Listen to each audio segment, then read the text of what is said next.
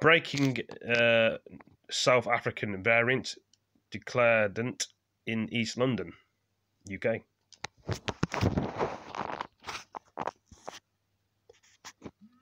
After this annoying advert, obviously.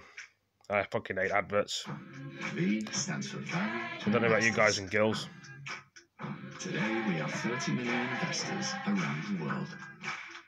Join Yeah, yeah, yeah. This comes up with one advert and two. Bring you some breaking news now. In surge testing is to be deployed in Tower Hamlets in East London.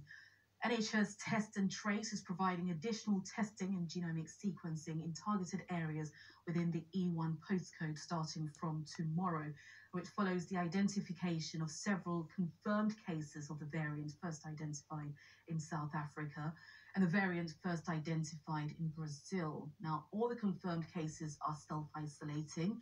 There are no links between According these to cases. figures today, 1,900 people are caught coronavirus.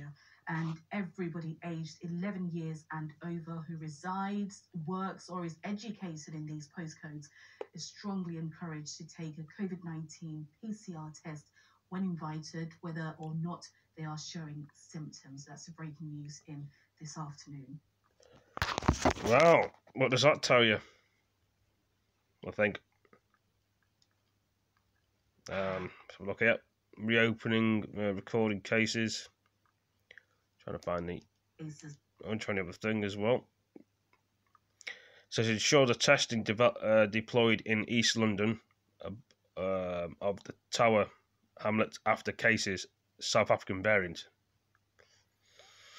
Is it getting worse or is it getting better? Who knows? But anyway, we better go. Thanks for joining me, please.